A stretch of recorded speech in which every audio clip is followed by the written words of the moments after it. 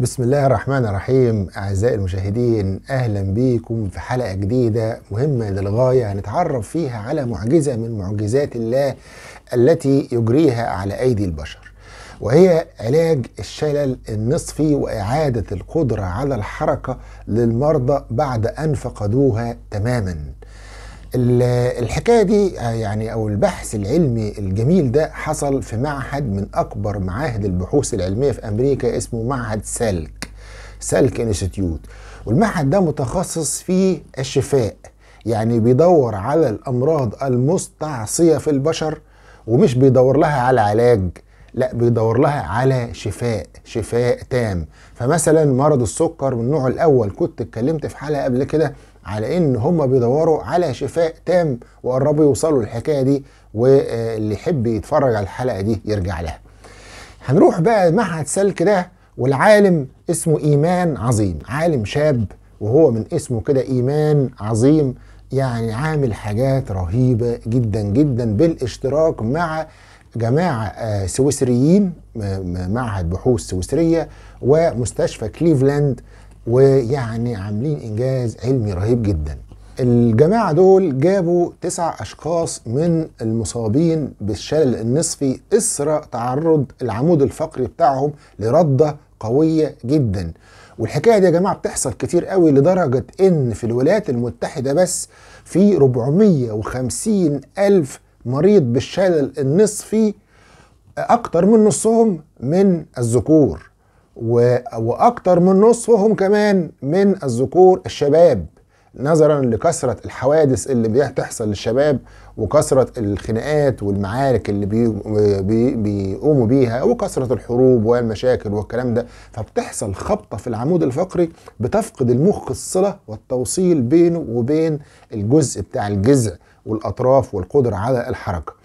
ويعني الغريب إن العمود الفقري والحبل الشوكي في منطقة الجذع والأطراف بيبقى سليم تماما ولكنه خارج الخدمة. يعني إيه خارج الخدمة؟ يعني الخبطة اللي حصلت فوق دي عند العمود الفقري من فوق أدت إلى فصل الاتصال فقط. لكن الحبل الشوكي سليم وممكن تشغيله بطريقة أخرى أو توصيل إشارات عصبية له عشان يبدأ يستعيد الحركة.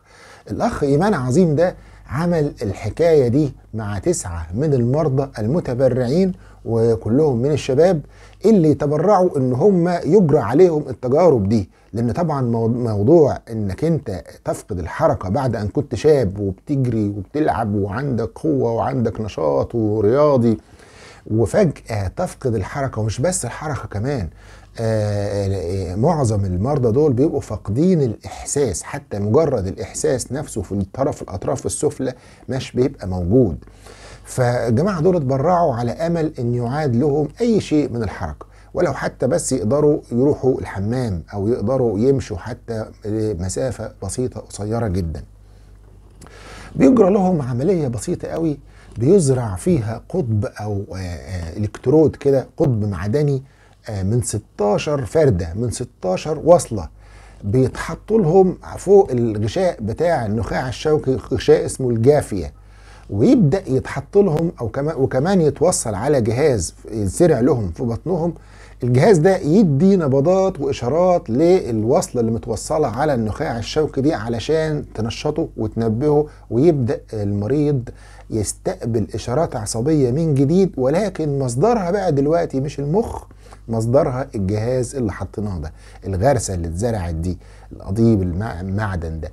فيبدأ يتحول يبدأ يتحرك. وهنا بقى هنشوف الفيديو بتاعنا ده يعني أول ما ركبوا الأجهزة وبدأوا المرضى خرجوا من العمليات وطبعا عشان عضلاتهم بقالها شهور وشهور ما بتتحركش ففي ضمور في العضلات فمركب لهم حوامل يشيلوها ويبدأوا ده يدربوهم. ومع الوقت بدأت المرضى دول يتحركوا بصورة معقولة جدا.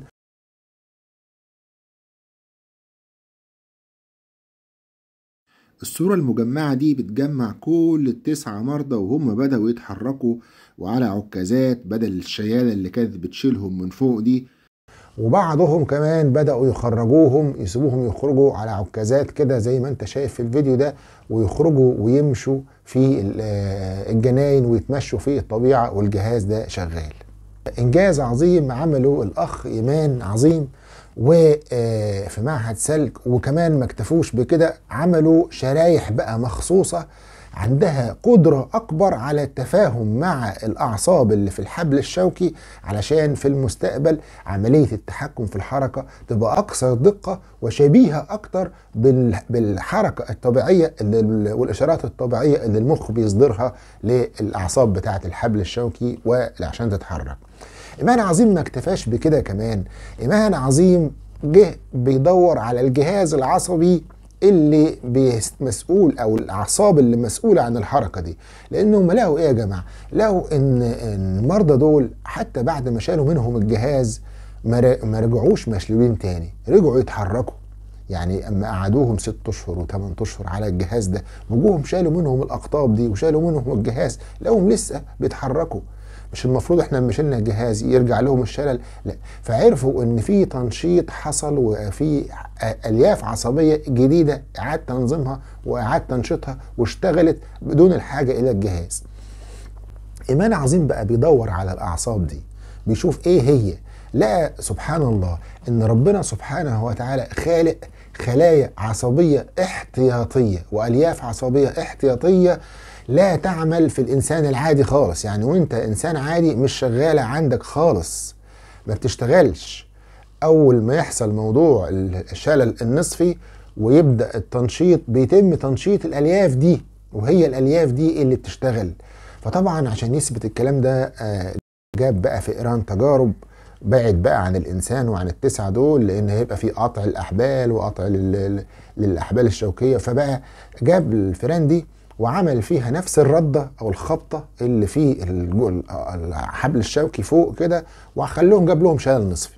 وبدأ يعمل لهم تنبيه بالتنشيط العصبي ده وبدأ آه، يشوف يخليهم ياخدوا قدرة على المشي ويمشوا.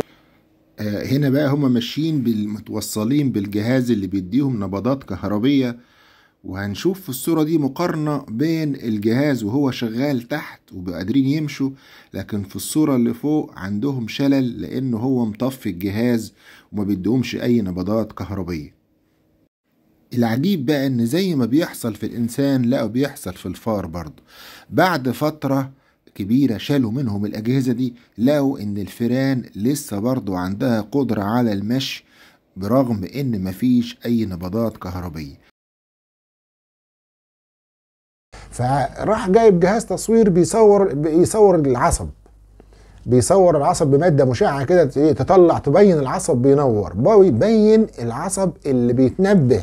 لقاه عصب تاني خالص غير العصب اللي هو المسؤول عن الحركة في الفأر العادي وفي الإنسان العادي. لقى عصب تاني مركون على جنب. ف آه، واثبت العملية ديت بما لا يدع مجال للشك. جاب فران سليمة وقطع لها العصب الاحتياطي ده وبيصورها بقى بالأشعة المنورة دي لقاها بتمشي عادي جدا. يعني العصب ده احتياطي ولا علاقة له في الوضع الطبيعي بالحركة. بدليل بعد كده إنه قطع العصب ده وقطع العصب التاني ففقد الحركة حتى بعد التنبيه والكلام كلام كتير جدا يعني آه، في ومصوره واثبته ونشر البحث ده في مجلة علمية كبيرة جدا اسمها مجلة نيتشر ويعني عامل طفرة كبيرة جدا وهو إيمان عظيم بيقول لك إن دي بداية فقط لعملية استرجاع الحركة للمصابين بالشلل النصفي الكامل اللي بيفقدوا فيه الحركة والإحساس.